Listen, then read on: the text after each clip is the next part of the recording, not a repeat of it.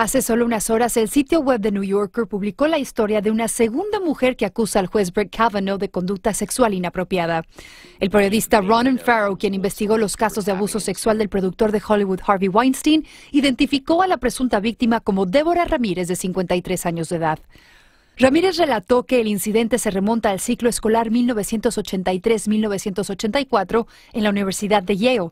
Ahí supuestamente Kavanaugh, borracho, se desnudó y le acercó su órgano reproductor masculino a la cara sin su consentimiento.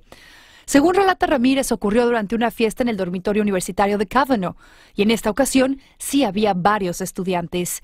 Deborah contó también que el grupo participaba en un juego de beber. Tras embriagarse, ella se quedó dormida en el piso y al despertar vio a la hora juez a su lado, desnudo y con su miembro frente a su cara. Incluso recordó ver a Kavanaugh reír y escuchar a otro estudiante gritar por los pasillos que Brett Kavanaugh había puesto su pene en la cara de Debbie. Tras la publicación de esta explosiva acusación, el juez nominado a la Corte Suprema negó los señalamientos una vez más.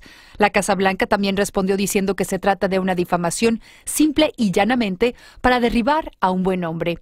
Mientras tanto, la primera mujer que lo acusa de intento de violación, la doctora Christine Ford, dará su testimonio en una audiencia pública frente al Comité del Senado el próximo jueves a las 10 de la mañana.